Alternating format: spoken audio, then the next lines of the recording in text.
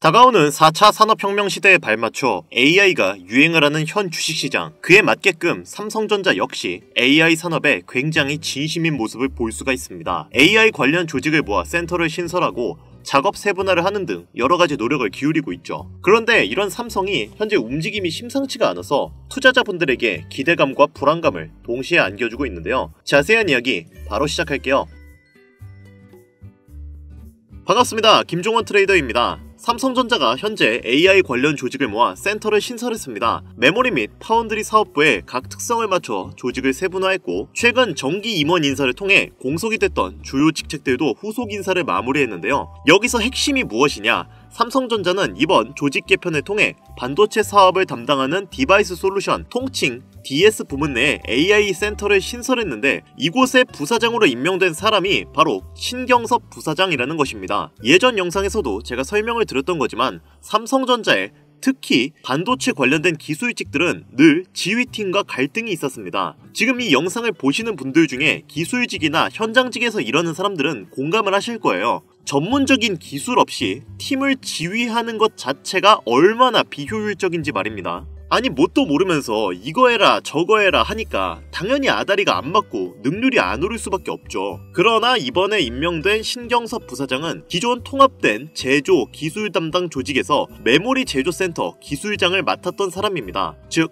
반도체와 HBM 관련된 실무적인 능력은 보장되었다고 봐도 무방하죠. 직원들 역시 그를 존경하고 따를 것이며 향후에도 팀이 무난하게 잘 굴러갈 것입니다. 다시 본론으로 돌아와서 AI 시대가 다가온 만큼 반도체와 그리고 핵심 부품인 HBM 문제를 우리는 유심히 살펴봐야 하는데요. 그런데 여기서 한 가지 사소한 문제점이 있어요. 그게 뭐냐? 현재 미국에서 HBM을 중국에 수출하는 것을 통제했다는 것입니다. 여러 전문가들은 최근 중국이 AI 반도체 개발에 속도를 내자 핵심 부품 공급을 막아버리기 위해 이런 특단의 조치를 취했다고 결론 내렸는데요. 물론 중국 정부도 경제적 강압 행위로 단호히 반대한다며 즉시 반발했죠. 여러분도 아시다시피 중국 시장은 규모가 매우 큰 시장입니다. 이러한 시장에 반도체를 납품하지 못한다는 것이 어찌 보면 삼성에게는 악재로 보일 수 있죠. 그러나 중국에게만 납품을 못할 뿐이지 다른 곳에는 얼마든지 납품을 할 수 있죠. 실제로도 삼성은 엔비디아와 교류를 하고 있고 이 엔비디아의 계약을 성사시키기 위해 부단히 노력하고 있습니다. 현재 엔비디아의 젠슨 황이 삼성전자 HBM 승인을 위해 작업 중이라는 기사가 떠서 투자자분들의 마음을 설레게 하고 있는데요. 젠슨 황 엔비디아 CEO는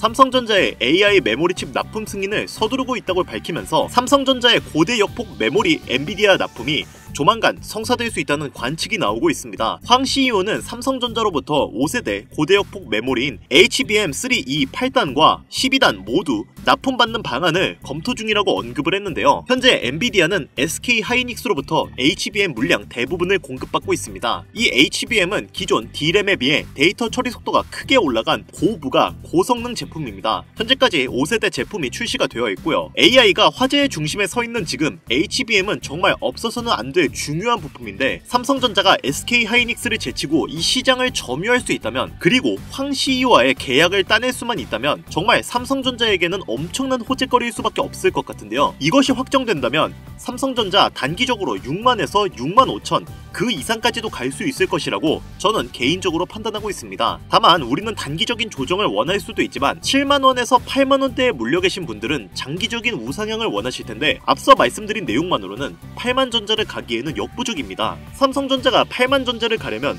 내년에 귀출을 주목을 해야 하는데요.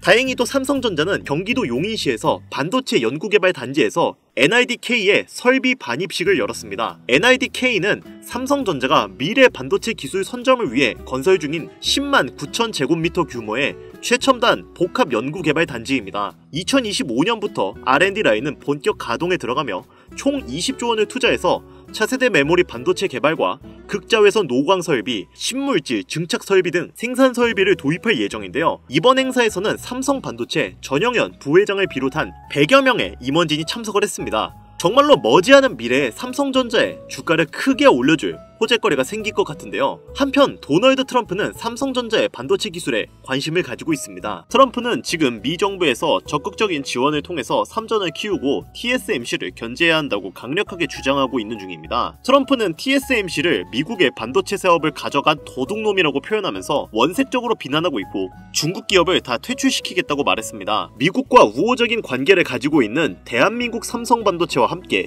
전폭적인 사업과 지원을 함께하겠다는 초대박 호재 가 나온 상황이에요. 지금처럼 위기의 삼성이라고 볼 때 미정부의 지원과 함께 반도체 관련 업종이 껑충 뛰어오를 수 있다는 그런 호재가 될 수 있다는 거죠. 게다가 호재거리가 이게 끝이 아니죠. 현재 전 세계적으로 반도체 관련된 보조금이 10배 이상 증가하고 있는 추세인데요. 대한민국은 이런 보조금이 없지만 삼성전자는 세계적으로 유명한 기업이기 때문에 전 세계 유럽, 뭐 일본, 중국, 미국 등등 각기 다른 국가로부터 반도체 관련된 보조금을 받고 본격적인 상승이 나올 수밖에 없다라는 거죠. 결국 모여든 자금으로 인해 시장이 커지게 되고 이로 인해 반도체 가격 또한 올라가고 그렇게 되면 반도체 기술을 가지고 있는 삼성이 다시 한번 HBM 패권을 잡을 수 있는 그런 호재로 다가올 수 있다는 겁니다. 자 이런 국제적인 정세와 보조금 현황으로 봤을 때 삼성전자 얼마든지 현재 올라갈 수 있다는 건데요. 그리고 제 개인적인 의견으로는 삼성전자가 5만원, 6만원 왔다 갔다 하지만 충분히 저점이고 지금 상황에서 여러분들이 얼마든지 매수해도 된다고 생각합니다.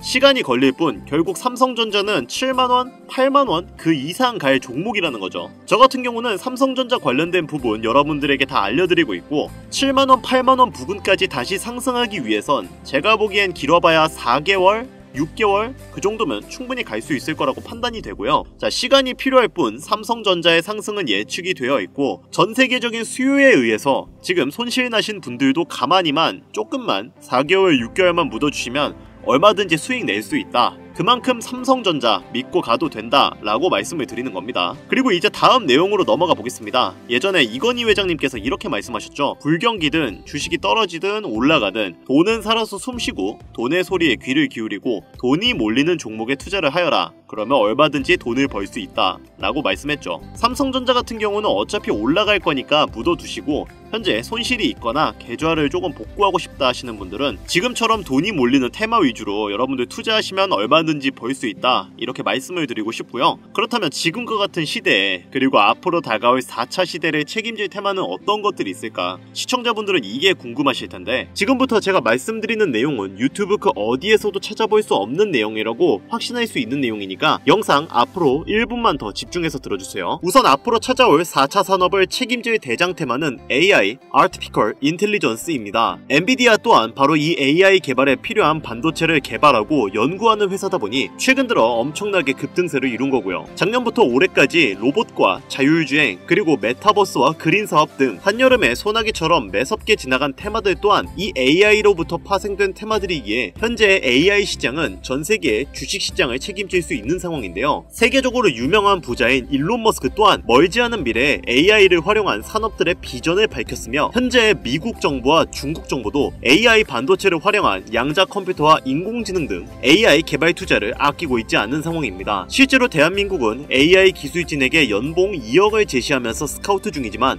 미국은 22억을 주면서 AI 기술자들을 영입하고 있는 실적이죠. 세계에서 가장 유명한 기업 중 하나인 블랙록은 2018년 최초 인공지능 개발 후 많은 것들이 변했으며 완전히 새로운 시대가 찾아온다고 발표를 함과 동시에 천조원 중 100조 원 이상을 AI 포트로 채워가고 있는 중입니다. 떨어질래야 떨어질 수가 없는 그런 종목들, 미래 가치가 확실한 종목들에 투자를 해야 안정적으로 돈을 벌 수 있다는 사실 누구나 알고 계실 텐데요. 하지만 머리보단 당장의 현실이 중요하기에 리스크는 존재하지만 짧은 기간 동안 많은 수익을 볼 수 있는 종목을 찾아다니시는 것 또한 알고 있습니다. 그래서 저는 여기까지 제 영상을 봐주신 모든 분들에게 감사한 마음을 담아 해당 정보를 공유해 드리려고 하는데요. 지금 보이시는 화면은 아까 소개해드린 블랙록에서 최근 2년 동안 50조 원을 쏟아 투자하고 있는 종목들입니다. 이 내용이 공개가 되고 난다면 이 자료에 적힌 종목들은 단언컨대 50배, 100배 이상은 충분히 올라갈 가치가 있다고 판단되는데요. 많은 금액을 투자하지 않으셔도 좋습니다. 만 원이라도 넣어보시고 보시고 그것도 싫으시면 관심 종목이라도 담으시고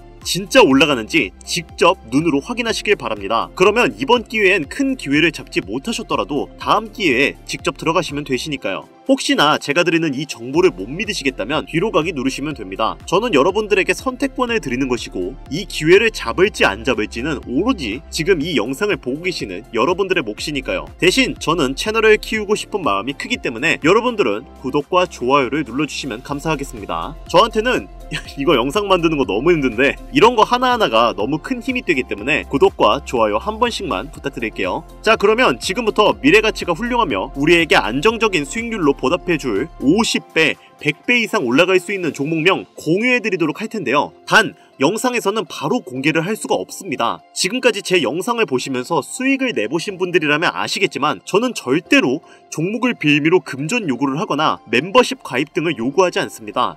다만 유료방 업자들이 해당 정보를 돈 주고 팔아먹는다는 제보를 너무 많이 받고 있기 때문에 정상적으로 희망하시는 분들에게만 종목명을 공유해드리려고 하는데요. 다가오는 4차 산업시대에 발맞춰 50배, 100배의 성장력을 예상하는 종목명 공유받는 방법 알려드리겠습니다. 화면에 보이는 번호 제 개인 번호죠. 010-8320-2240 위 번호로 유료방과 업자들을 걸러내기 위해 그리고 제가 알아볼 수 있게 AI라고 한 글자만 보내주시면 업자들을 제외한 모든 분들께 종목명이 포함된 비공개 영상을 공유해드리겠습니다. 잘 안 보이실 수가 있으니까 한 번 더 말씀드릴게요. 화면에 보이는 010-8320-2240 위 번호로 AI라고 보내주시면 종목명이 포함된 비공개 영상을 보내드리도록 하겠습니다. 요즘 날이 추워지고 있으니까 다들 감기 조심하시고요. 다가오는 4차 산업혁명 시대에 맞춰 좋은 수익 챙겨가셨으면 좋겠습니다. 저는 더 좋은 영상으로 찾아뵙도록 하겠습니다. 여기까지 시청해주셔서 감사드리며 영상이 도움이 되셨다면 구독과 좋아요 부탁드릴게 요.